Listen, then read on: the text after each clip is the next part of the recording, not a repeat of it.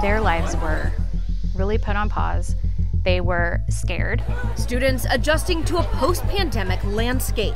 You can see the, the class size are getting bigger and bigger, and it's just kind of nerve wracking. Schools grappling with changing enrollment. We went from very few uh, kids of color in Bellevue when I was even a student to we're now a majority minority school district. And trying to keep kids safe as the dangers of fentanyl and a mental health crisis loom. Sometimes kids just need to know someone's watching.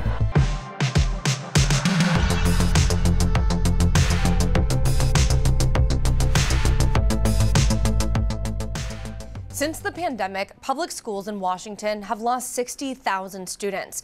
Thanks for joining us. I'm Kristen Goodwillie. This is a special King 5 presentation into the state of education in Washington. Many families have chosen other types of schooling, but a lot of kids remain missing from the records altogether. King 5's Jessica Janner Castro asks, where did these students go? Before the pandemic, Do we need a new school? Yeah. every day started with a morning rush All right, hey guys.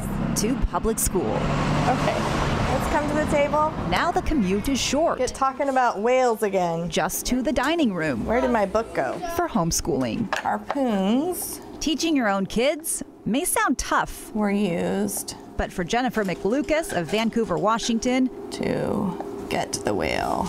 It was a better option than juggling distance learning. It was extremely difficult. I had a child in middle school and um, a child in high school and uh, and two kids in elementary school and trying to coordinate their Zoom times and connect with their teachers and you know to find out what we needed to do. It was just it was really overwhelming for me. That's when the McLucas family tried homeschool. and at the time i was looking for anything that would bring some peace to our home. And um, uh, and it, it really worked for us It's not just the McLucas family here in Vancouver. Families across Washington have decided to leave public for private and homeschool options. Looking at pre pandemic state data compared to the latest numbers, private school enrollment has gone up 17%, homeschool even more at 43%. What's going on here is really straightforward. Uh, parents of really young children uh, didn't want to sit them in front of a computer all day. And in particular, at the kindergarten level, where often that choice is optional, Thomas Dee at Stanford University recently led a team analyzing data across the country. one of the most striking effects of the pandemic was a, a, an historically unprecedented exodus from public schools.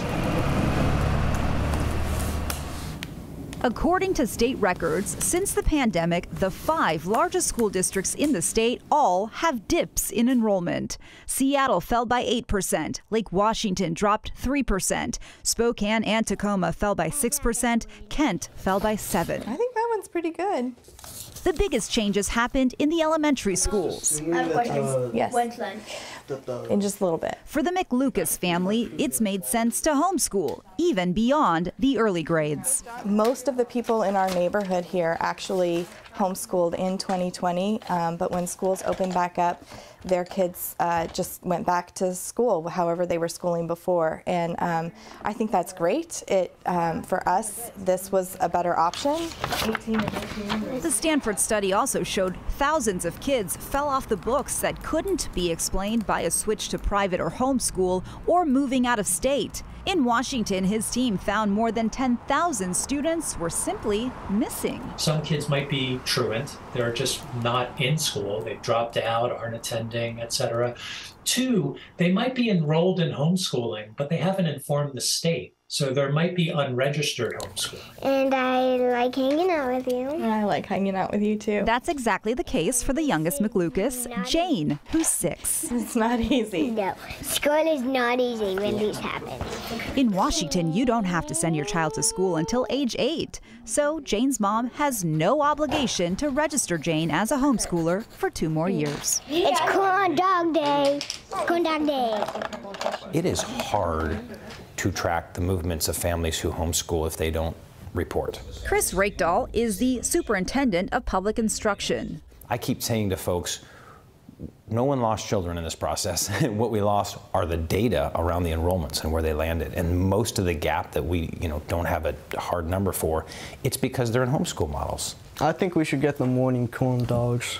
Clark, a sophomore interested in architecture, says homeschool has been much better for him. I'm going to be completely honest, I did not get stuff done in public school. It helps me learn the things that I want to learn that um, help me with what I think I'm supposed to do with my life. It's totally flexible. I think people are learning that there's there's just there's more than one way to to make things work for your family, and I think that that's really that's really good. It's there's a lot of freedom there.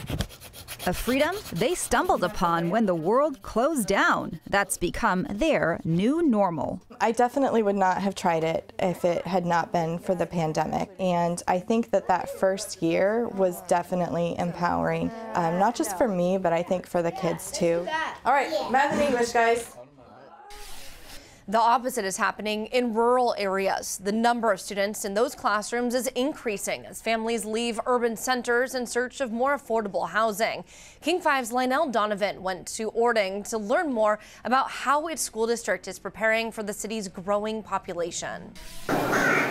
It's back to school season in Pierce County. And Jenny McKinney says she's glad her kids are in the Orting School District. I love that. Community feel. She moved to the area from Kirkland five years ago and says one of the main draws was the small town charm. Really small, so the kids can get to know the teachers better. I also found out that the majority of the staff live in Orting or in the surrounding areas, so they're really invested. You can actually see the principal at the Safeway in town, or you can run into your kindergarten teacher getting ice cream. But Jenny says she's starting to notice that the small town she moved to is growing faster than she's comfortable with as people from Seattle and Tacoma move in. You can see the, the class size are getting bigger and bigger, and it's just kind of nerve wracking. Census data shows that Orting's population grew by nearly 75% between 2010 and 2020. We're busting at the seams. Now the Orting School District is trying to figure out how to grow as well. This is the city corridor right here. Superintendent Ed Hatzenbieler says the trick is to follow where housing is being built, and a lot of it is going up in Orting. But we're staring at a little over 5,000 homes over the next 12 years, so by 2035, and that will about double the size potentially of our district. So we think we could be anywhere by 2032 of, twi- uh, I'll say about 4,400 kids up to a little over 5,000, maybe 5,200. Hatzenbieler says finding space for that many students will be difficult for a school district that's already struggling with cramped classrooms. Three of the district's four schools are currently over capacity. Hatzenbieler says earlier this year, a $150 million bond measure would have secured funding for a new school building but voters rejected it. And 2023 was the worst year in the last 25 years for school bonds across the state. Just 8% of those school bonds passed. Hatzenbieler says he understands the hesitation to support the bond as people try to make ends meet, but says in the near future the district won't have any more space for new students, and new schools are vital. Meanwhile, Jenny hopes other voters come on board. I have the faith that Orting takes care of Orting, and I feel that it will come soon. Lionel Donovan, King 5 News. It's been almost a year since the COVID public health emergency ended here in Washington, but students are still trying to catch up after campus closures and online learning. This year, the Tumwater School District is mixing things up in middle school. Here's King 5's Drew Mikkelsen. All right, my name is Amy. I work at Pacific Shellfish Institute. So I study shellfish. Think of it as a field trip, but instead of heading out, the science comes to the students. That's weird. Today's lesson, plankton both middle schools in Tumwater. Yeah, I spotted a few plankton. Now partner with nonprofits who don't charge the district for the visits, allowing for more hands-on lab work. Things are swimming. Traditional models call for lectures and reading up on a subject before ever doing any experiments. The reason why that's so powerful is that's actually what real science is. They're actually practicing being scientists. The other thing is it's just a lot more fun. Teacher Jason Roberts gave all his students teddy bears during the first week of school. They had two feet of masking tape, they had 10 pieces of paper, they had to make the tallest chair that they could that would support their bear. He says this generation needs support too. He still sees COVID's impact educationally and emotionally. Some of the rough house, the playing and stuff that you would you would see out on the on the playground at recess in elementary school, we're seeing that in the hallways here at the middle school. Their lives were really put on pause. They were scared. Michelle Paul heads up the new curriculum and the summer school courses that emphasize potential career education, like drone piloting.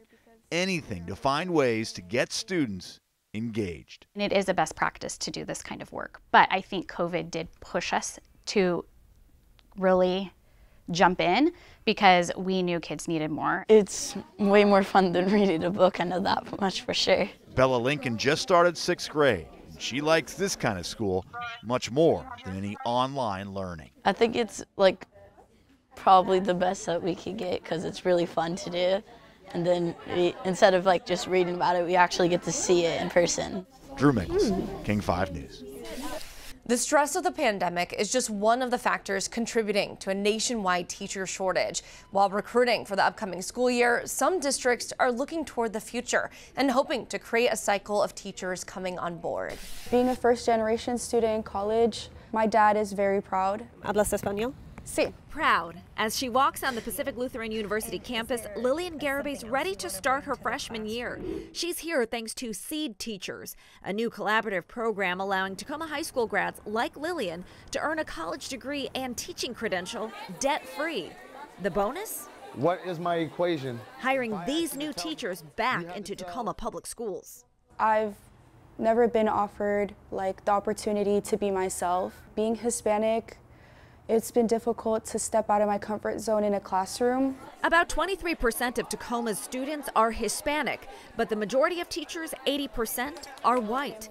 Helping change teacher diversity is just part of Lillian's focus. I feel like as a student, being offered a safe place and a place to show yourself and learn in a safe community, I feel like I could offer my students that by sharing my culture and my language in a different form. Increasing diversity while adding a rolling number of candidates, a strategy in place as Washington teacher attrition and turnover is at an all time high. In 2022, the teacher attrition rate was 8.91%, the highest in the previous 37 years. Turnover is also high at 19.76%. This, according to an analysis of Washington state data by Calder Center. Leaders right in now. education know this is a crucial time. One of the lead drivers of um, teachers leaving the profession is not having the knowledge and skills to be effective in their role. So, high quality preparation is essential to teachers staying and feeling like they can make a difference. All aiming to make that difference are Seed Teachers partners Pacific Lutheran, Tacoma Public Schools, and nonprofit Degrees of Change. Lillian's already thinking about her future students. And I think having joy in a classroom and at least a little fun in a classroom would bring students back in. Lillian is a part of Tacoma's long term outlook. This year, Seed Teachers will support about 20 students to become teachers, then return to their hometown district. In five years, a cycle of 100 new teachers is in motion. I think that this program changed me completely. In Bellevue, administrators hope to honor the city's heritage in the classroom. And for the district's new superintendent, it's personal. I feel that connection in any of the Bellevue schools that I walk through. Dr. Kelly Aramaki knows Bellevue likely better than any other superintendent that's come before him. His family's roots in this community run deep. That's me when I was five years old. Born and raised in Bellevue, Aramaki graduated from Newport High. His dad is a Sammamish High grad. This is my grandfather, Akira. And his grandfather graduated from Bellevue High School in 1931. He was on the basketball team, the baseball team. He was part of the senior class theater. The Aramakis are one of the first Japanese American families in Bellevue, starting with his great grandfather, who immigrated here in 1900. He came here looking for a better opportunity, just like so many people. He ended up starting a farm under my grandfather's name because at that time, um, people who were from Japan couldn't own land. But in 1942, during World War II, the Aramakis had to abandon their farm and were forced into incarceration camps. My grandfather didn't talk a whole lot about it. You know, it was, um, I think most of the Japanese Americans who came back after World War II didn't talk a lot about history. So it was, you know, there's just kind of this sense of like, we're not going to talk about it. We're just going to keep our heads down, work hard. It was the first time I'd learned anything about it was um, after college in, during my master's program. It's one of the reasons Aramaki is so passionate about curriculum that includes Bellevue's history. If we don't talk about the Japanese Americans when we teach about Bellevue history, then my family is completely erased from the history of Bellevue. As the first permanent Asian American superintendent in the district, where 104 different languages are spoken, Aramaki's goal is to give students a sense of belonging, where their culture and heritage is honored. The diversity in Bellevue has changed a lot. We went from very few uh, kids of color in Bellevue when I was even a student to we're now a majority minority school district. But he's stepping into a role with a lot of challenges. As a superintendent, but also as a dad of a teenager, I, I am, I mean, fentanyl is something um, that is top of mind for all of us. Like opioid overdoses among teenagers, budget cuts forcing the consolidation of elementary schools, and helping students with their mental health and wellness. I'm so happy to come to work. Aramaki, whose 23 year career in education includes teaching and administration, says leading the district in his hometown is not only a dream come true, it's significant for his entire family. I do feel like, you know, going from Japanese internment to being the superintendent of the, the school district, you know, is a it's it's an amazing story for my family, for the Japanese American community. One of the other consequences of changing enrollment is funding. Even after sweeping changes in 2017, there's still controversy surrounding how we pay for schools. So we looked into how it works and how we got here. King 5 senior producer Josh Flug and anchor Christine Pei show us. Let's follow the money for where your school gets its money in three parts. How we got here, the model we use now, and the problems left to hammer out. It starts with a state constitution which clearly states it is a paramount duty of the state to make ample provision for the education of all children, regardless of race, color, caste, or sex. Ample means not just adequate, considerably more than just adequate. That's Tom Ahearne, an attorney whose lawsuit redefined education in Washington.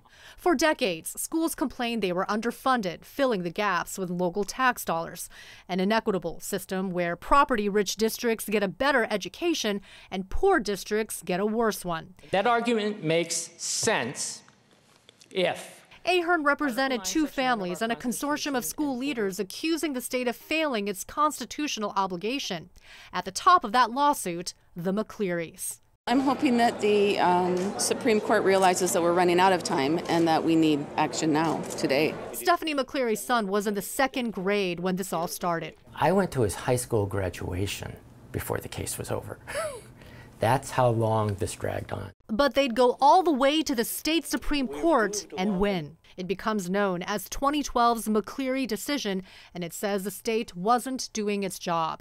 The court fined Washington $100,000 every day for more than five years until it could come up with a plan to stop underpaying teachers, allowing classes to become too big, and relying too much on levies to fund schools on the local level our Constitution places a high, high premium on equality in that sense and equity. Representative Sharon Tomiko Santos heads the Education Committee in Olympia. The court basically said when you have a school district that's doing that, then the state is shirking its duty because there's nothing more basic than having a qualified teacher in every classroom. In 2017, the state came up with a new formula that poured billions of dollars of new funding into education, which put a halt on the McCleary fines.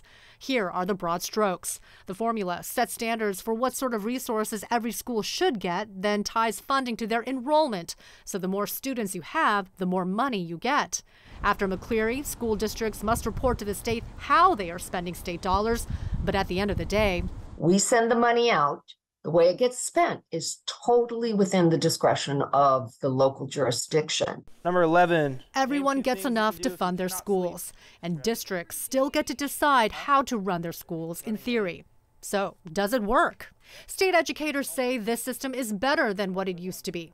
Pre McCleary, it was it was always a struggle. It felt like we were always trying to keep our head just barely above water. Teacher salaries have risen to become the fifth highest on average of any state in the country. According to U.S. Census data, Washington is among the top 20 states for spending per kid. But union representatives say schools are still short funds for transportation, paraeducators, and federally mandated special education services. They have to use local dollars or state dollars in order to cover the, the requirement in special ed for that one to one para. That gets really, really expensive quickly. Declining enrollment is forcing schools to make tough decisions under this model, like consolidating schools in Bellevue. To close a school is shocking for a community. It's hard to recover. And a post COVID world has state lawmakers asking if the state's current formula is, in fact, the best way to serve our kids. We know that learning can take place anytime, anywhere. And so, how do we measure whether or not our students are learning? School districts can still use local tax dollars to a point to fund extra programs or activities known as enrichment.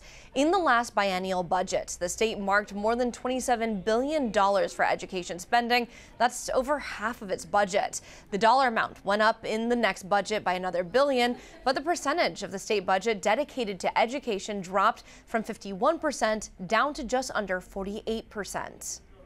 Teachers and parents are facing new challenges to keep kids safe, both physically and emotionally. The FBI says the number of school threats is increasing and creating a significant problem for law enforcement agencies. Even if a threat is fake, it's always treated as real until proven otherwise, and that can pull resources away. That's a problem for local law enforcement departments who have to investigate school threats with already minimal resources. Our local partners are already short-handed and understaffed, and so addressing hoax just takes more resources away from that, and, and the community has seen that. The FBI is also asking the community to always report a threat, even if you think it may be fake, and asking parents to educate kids about using social media responsibly. You don't want to be the person that says, oh my gosh, I, I saw that and I didn't take it seriously because that's a heavy, a heavy weight to bear. This year, Seattle Public Schools is implementing some changes to encourage safety. I spoke with students to see how they're feeling about these new policies. This is generational trauma. Thinking about safe learning is hard for an entire generation that has grown up with active school shooter drills. It's kind of just been, oh, okay, when's the next shooting? Who's dying next? Where is it happening? And hoping it's not at your school, which isn't a healthy mindset at all when you're just trying to learn. Nor Goldberg and Natalia McConnell are starting their senior year of high school.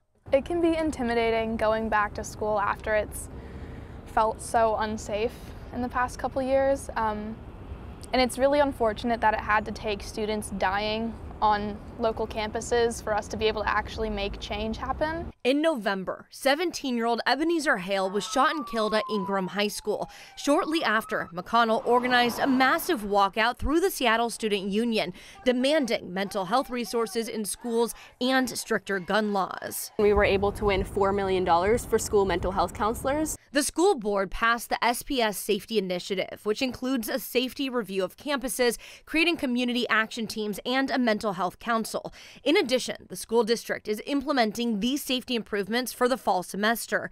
That includes campus signage, locks that activate from inside a classroom, and an app for high schoolers to report threats. These small steps of signage, of door locks um, are okay, but they are not going to prevent a school shooting as much as school mental health counselors are and gun control is. That's why the student union says they're advocating for $20 million to go towards mental health counselors in the next city council budget. We're kids and we're just fighting every step of the way trying to be able to just get an education without risking our lives. The U.S. Surgeon General suggests we are in the middle of a youth mental health crisis. King 5's Maddie White learned what Tacoma Public Schools is doing to support kids' mental health this school year. And I always say kids vote with their feet. And vote with their feet they did. A thousand kids actually showed up and had a safe summer. And that, she says, is a success since they could have chosen to be anywhere and they chose to come and show up at our schools and play basketball with their friends. This summer, Tacoma campuses hosted a new program called Summer Late Nights, creating the spaces where kids can be safe. The goal? Boost kids' mental health and well being. because broader statistics in Pierce County lately have been alarming. Those statistics are scary and, and sad. Especially when it comes to crime. In January of this year, the Pierce County prosecuting attorney says they handled 53 juvenile cases. That number last year was 34. So to find the percent increase, we find the difference between the two numbers, divide that by the original number, and it gives us 0.558, which means there was a nearly 56% increase between this year and last. This considered, we had kids that were having, you know, issues. Are public schools able to meet the growing need for youth mental health support? Low enrollment means less funding, which means it's harder for us to do all the things we need to do. So they're getting creative thanks to a multi year grant they applied for and won. That allowed us to um, do contracts with outside um, agencies to provide long term care. They're bringing therapists directly to the classroom in some cases when an issue's been identified. So there's not that gap in care if like we sent home a referral and then the parent had to go do 25 steps to get to it. She says they recently did a group therapy session with students involved in violence on a campus. Sometimes kids just need to know someone's watching. Maddie White, King 5 News. Also, in relation to students' health, fentanyl is creating a new level of fear for parents. Overdoses from the drug are rising across our state. According to the state superintendent's office, Narcan was used twice in schools in 2021 and six times in 2022. During the 2022-2023 school year, Narcan was administered 42 times, according to a survey. State law requires schools with 2,000 students or more to have Narcan on hand. But there is nothing requiring schools to teach students about the dangers of fentanyl.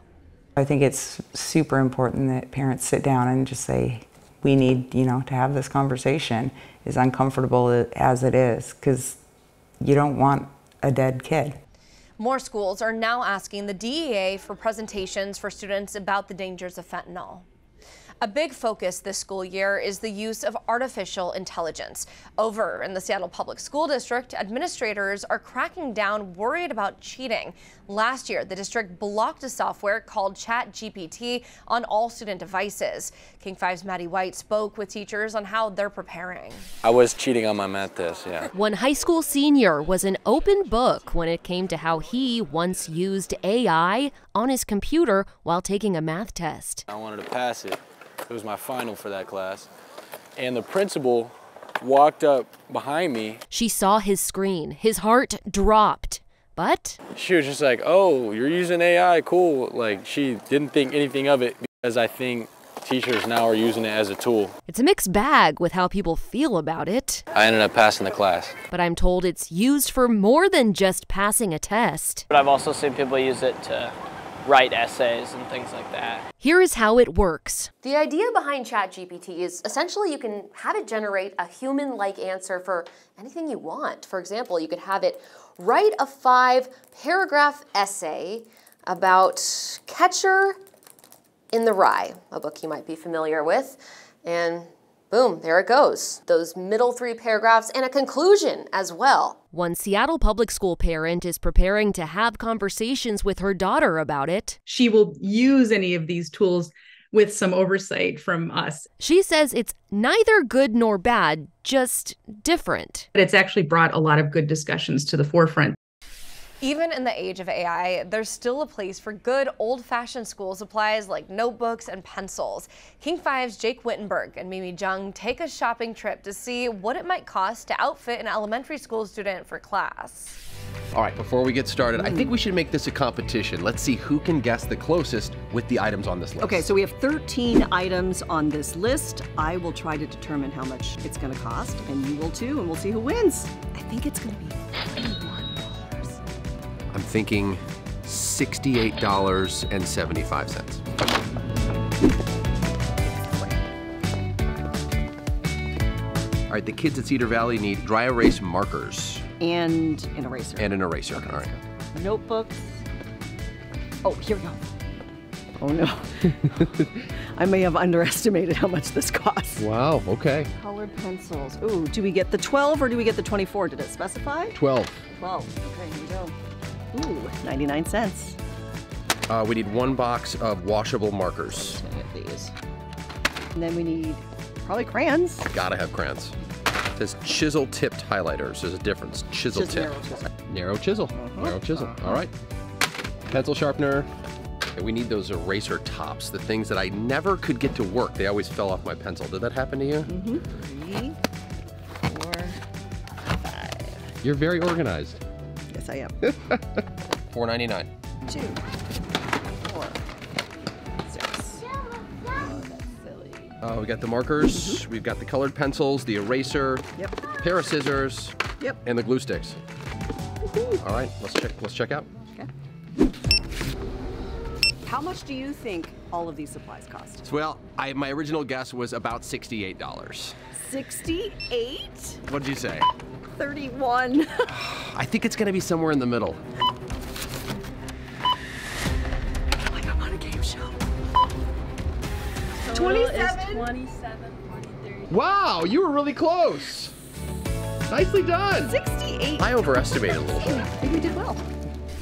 School supplies are more expensive than ever. That final tally of $27 is actually 35% more expensive than it was five years ago. According to advertising from Target, the total would have been closer to $20. Thanks for joining us. I'm Kristen Goodwillie.